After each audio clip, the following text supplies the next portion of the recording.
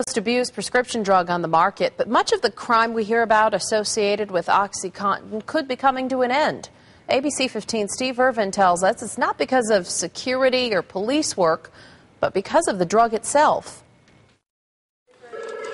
Melrose Pharmacy is a small place, but a potential target nonetheless for thieves looking for drugs.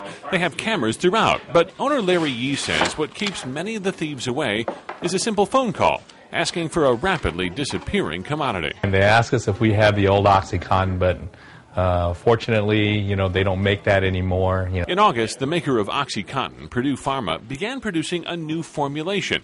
It has a special coating which is supposed to make it more difficult to crush and snort. But some patients who need the drug to control pain say it's just not as effective. I do hear some from some people saying the new formulation doesn't seem to work as well for them. Uh, but then I've had other people that have switched over to the new formula without any problems whatsoever. In October, Purdue put out this letter to doctors which acknowledged problems with swallowing pills but said nothing about the drug's effectiveness.